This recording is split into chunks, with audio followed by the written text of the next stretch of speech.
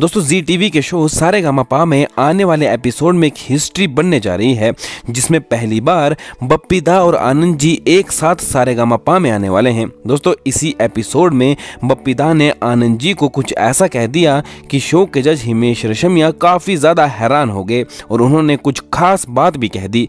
दोस्तों, हिमेश जी ने बप्पीदा और आनंद जी को मिलते देख कर कुछ ऐसा कह दिया कि शो के जज विशाल डडलानी और शंकर महादेवन भी काफ़ी ज़्यादा खुश हो होते हुए दिखाई दिए।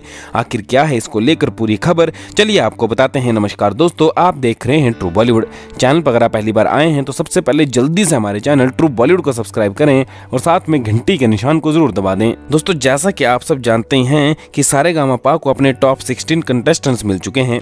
ऐसे में अब शो में एक के बाद एक सेलिब्रिटीज भी आने लगे हैं। शो के आने वाले एपिसोड में लेजेंडरी कंपोजर आनंद जी और बप्पी दा आने वाले हैं। लेकिन दोस्तों, आपको बता दें कि ऐसा टीवी की हिस्ट्री में पहली बार होने जा रहा है जब आनंद जी और बप्पीदा एक साथ एक ही एपिसोड में हमें दिखाई देंगे।